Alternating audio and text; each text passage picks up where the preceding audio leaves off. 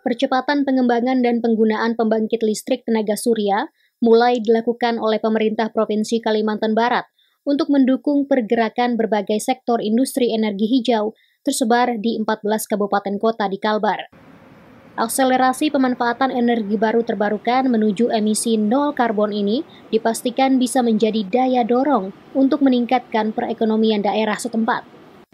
Selain juga sebagai upaya untuk mengatasi perubahan iklim akibat penggunaan energi fosil jangka panjang. Berdasarkan data bidang perekonomian dan pembangunan, Sekretariat Daerah Kalimantan Barat pada 2022 hingga 2023 hanya terdapat 5 unit PLTS atap di Kalbar namun sejak awal 2024, angkanya meningkat menjadi 32 unit, di mana instalasinya tersebar di sejumlah lembaga pemerintah maupun kawasan industri. Hal ini diungkapkan Ignatius, Asisten Perekonomian dan Pembangunan Setda Kalimantan Barat, Selasa 6 Februari. Sebenarnya inisiasi pemerintah kita sudah ada beberapa uh, dinas badan yang sudah memanfaatkan ini. Teman-teman di SDM sudah ada, BPK, BKAD juga sudah ada. Ya. Walaupun dalam skala kecil, tapi paling tidak bisa membantu menghemat lah. Ya.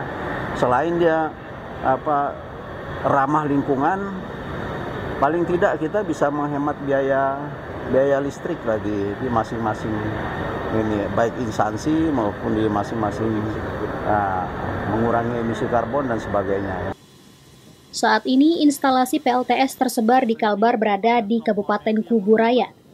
Dibangun di atas lahan seluas 6.700 meter persegi dengan kekuatan 1.260 keping panel surya, di mana konversi energinya menghasilkan 2 juta kilowatt-hour per tahun dan menghemat konsumsi listrik lebih dari 30 persen jika dibandingkan dengan penggunaan energi fosil.